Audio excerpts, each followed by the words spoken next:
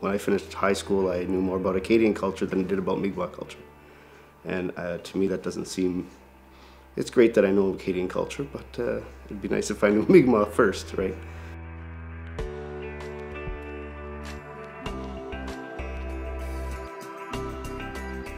To me, that's where I see us going. Is that we need to once again, you know, what what's our stories, what's our history, uh, learn about our treaties, learn about our laws, our, our processes, our governance structures.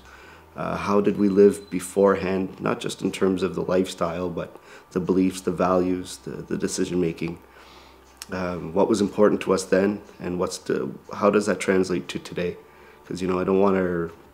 For me, uh, Mi'kmaq isn't. Uh, it shouldn't be a history lesson, right? It's applicable today, and it's applicable in the future. So, we need to determine how that's going to be done. When, when we develop with the community a vision for education system and where we want to go, uh, what, what aligning these, the, the, the structure will do is it'll help us to reach that vision in a sense where at all levels, how do we strategically take an approach to meeting that objective?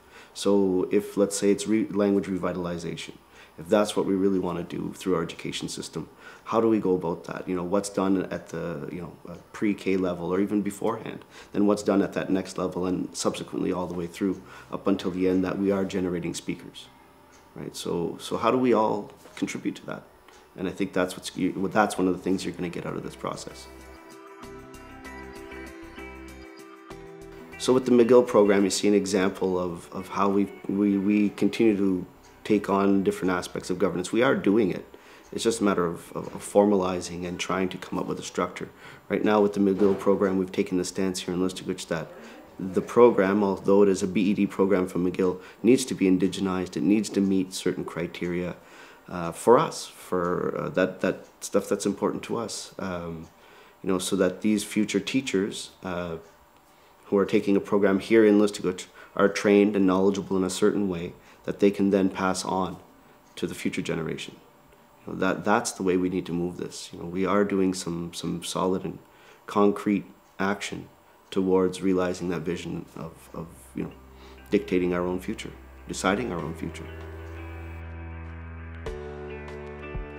When we did the um, Bachelor of Arts Community Studies program through Cape Breton University, you know, it was, um, it was groundbreaking in the sense that we had you know, uh, over 80% of the students that enrolled finished and complete the program.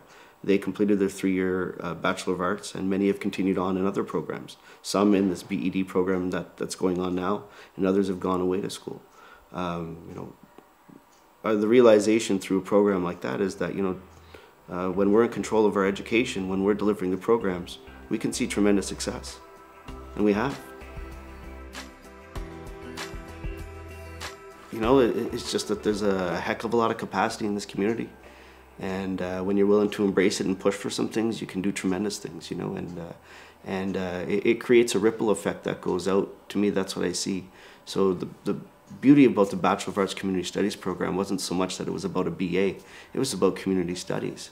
It was about learning about your community. It was about making a difference in your community. So the research projects that they had to do, the information that they got was learning about here and then how can you make a difference here, right? So all of these graduates are now out there making a difference somewhere in this community. You know, teaching that in Sydney wouldn't have had the same, same effect. You know, my, my, my background in education is that I've worked, in, I started working in education in 1999. Uh, at the time, you know, it was, uh, it was interesting to see, you know, we, we had a school in our community. Uh, we had people from our community working in the school. We, we had a lot of good things going uh, and, and it was a step, you know, a major step forward at the time. Um, now here we are, you know, 17, 18 years later, and uh, it, has been tremendous to see the, the change, the difference, the, the understanding and, and the importance put on, on developing uh, who we are, which was the original intent of the school. And it did that, but it's, it continues to grow and grow and grow. Uh, for me, it's, it's interesting now that we find ourselves at a time where, as Listuguj, we see the importance and we see the necessity of, of Listuguj taking control of its education, not just in, in terms of a physical structure, but in terms of the curriculum, determining what are the outcomes, determining what's important to us in our future.